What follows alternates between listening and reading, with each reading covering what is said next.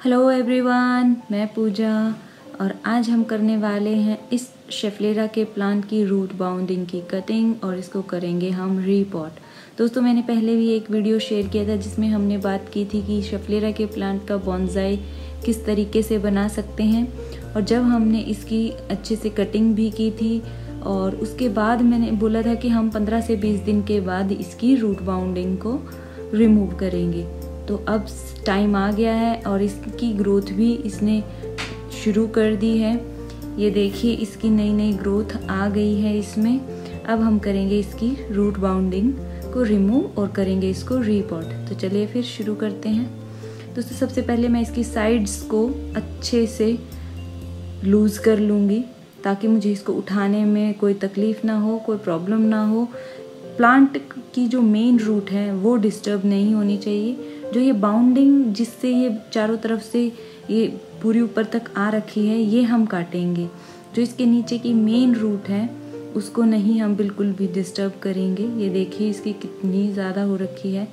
मैंने इसको पहले ही पानी दे दिया था तो मिट्टी नरम हो गई है। कई बार होता है कि किसी प्लांट की ज़्यादा मोटी रूट्स होती हैं तो उनको काटना और उनको, इस आसानी से काटना थोड़ा डिफ़िकल्ट हो जाता है। तो उसके लिए आप क्या कर सकते हैं, इसको पानी में रख सकते हैं थोड़ी देर के लिए जिससे मिट्टी लूज़ हो जाए। इसमें मैंने पहले ही पानी अच्छे से दे दिया था ताकि इसकी मिट्टी जो है थोड़ी सॉफ्ट हो जाए।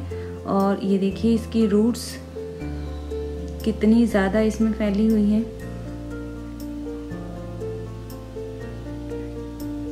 जो मेन और सबसे मोटी जो नीचे की रूट्स हैं, मैं उनको बिल्कुल भी डैमेज नहीं करूँगी। क्योंकि वहीं से ये अपना जो अब दोबारा रिपोर्ट करने के बाद जो सारा नया न्यूट्रिशन ये लेगा मिट्टी से ग्रोथ के लिए, ये वहीं से लेगा। ये देखिए, मैं आपको वॉश करके देखो। इसकी ये जो मोटी नीचे की मेन रूट्स हैं, इनको बिल्कुल भी टच नहीं किया है। इनको बहुत आराम से, धीरे से इनके बीच में से मिट्टी निकाली है। और अब जो एक्स्ट्रा छोटी छोटी जो और रूट्स हैं, उनको भी रिमूव कर लूँगी, जो पानी की, में साफ़ करने की वजह से अच्छे से साफ़ हो, निकल आई हैं।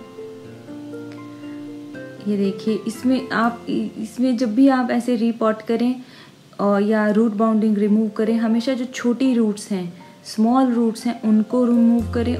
और जो मोटी रूट है, उसको बिल्कुल ऊपर से ना काटें, उसकी एक्स्ट्रा ग्रोथ को काटें। तो ये है सॉयल मिक्सचर दोस्तों सॉयल मिक्सचर मैंने लिया है एक हिस्सा गार्डन सॉयल एक हिस्सा इसमें लिया है सैंड का और एक हिस्सा लिया है कंपोस्ट का।